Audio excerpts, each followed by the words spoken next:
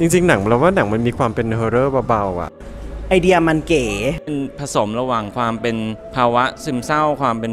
ภาวะโรคระบาด รู้สึกว่ามันเป็นคอนเซปต์ที่มันใหม่นะ เป็นความแปลกที่ดีครับ คนทำก็ก็เจ๋งดีนะที่ทำแบบหนังเล็กๆ แต่ว่าโอเคมันออกมาแล้วมันมันมันได้อะไรใหม่ๆนะฮะแต่จริงๆที่ชอบเนี่ยจะเป็นเรื่องของการดำเนินเรื่องแล้วก็เพลงเรารู้สึกถึงความมิส t ต r y เรื่องของความน่าค้นหาของตัวหนังเอง แล้วก็นักแสดงก็แสดงได้ค่อนข้างดีเลยครับ แปลกมาก แล้วก็ตลกแต่เป็นแบบดาร์กโจกตลกร้ายอะครับ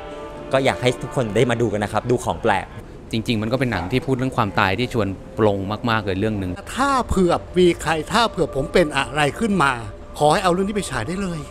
แทนพระสวดดูแล้วต้องจูนอยู่สักพักหนึ่งแต่ว่าพอเราจูนติดแล้วเราจะเข้าใจว่ามันเป็นคำถามที่พวกเราทุกคนไม่ว่ามนุษย์คนไหนก็ต้องต้องเจออะค่ะว่าสิ่งที่แต่ละคนไม่สามารถตอบได้เหมือนกันอยู่แล้ว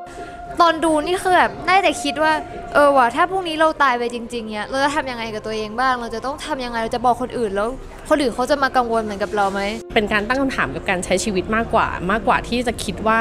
เราจะตายยังไง หรือว่าเราจะต้องเตรียมตัวยังไงก่อนที่จะตายอะถึงสุดท้ายแล้วเนี่ยความตายจะมาถึงเมื่อไหร่ก็ได้ เราดูจากนี้จบปุ๊บ เราก็พร้อมที่จะเดินหน้ารับกับความตายให้ได้